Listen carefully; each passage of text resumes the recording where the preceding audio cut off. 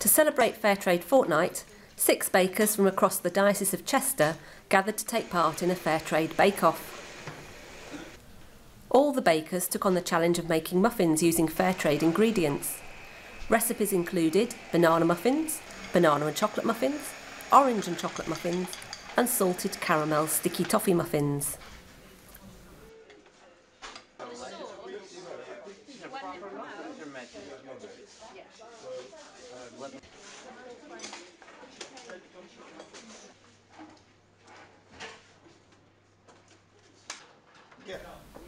The bakers were very proud of the finished goods and presented them to four students from Bishop's High School to be judged. The judges unanimously decided that the salted caramel sticky toffee muffins were the best, and Miss Vanessa Burton was delighted to take the title of Diocesan Fairtrade Baker 2016. At first place, he's, we have these absolutely lovely. He just, just, just first off, first off, first off, out of the gate. He, he, again, I would absolutely buy these if they were actually in the store. Her, They're a pound each. pa- pound each.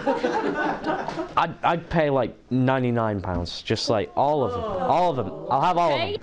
No, just keeping you from the 10 out of 10 thing, hing, just the, there was a fudge, fudge layer at the bottom that I saw that you were trying to pull off.